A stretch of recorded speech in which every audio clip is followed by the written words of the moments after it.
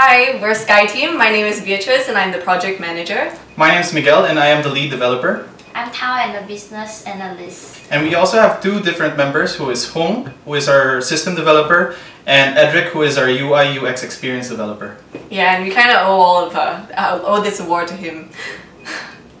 okay, so let me tell you more about our project. So we created a business intelligence dashboard for insurance agencies so that they can better uh, better visualize and analyze risks in order to price their insurance premiums accordingly.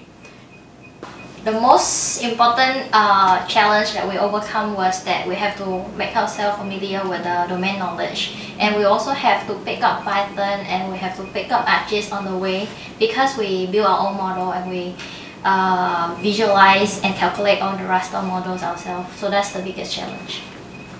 We also had problems with the scheduling uh, for our project management because um, our clients had to uh, you know, insert, uh, insert new requirements here and there and so we had to adjust our schedules to accommodate these requirements.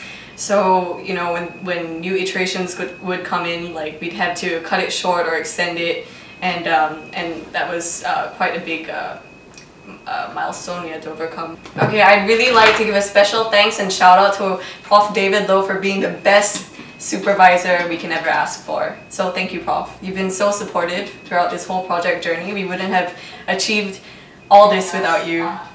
Uh, I also would like to thank Prof. Sima on behalf of the team for being a super wonderful evaluator and sit down with us and discuss the things that we can do to improve our system overall and with create knowledge into uh, uh, into the visualization of risk and calculation of stuff. Thank you, Prof.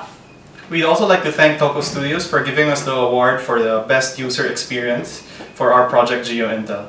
And once again, we thank you everyone for VR SkyTeam.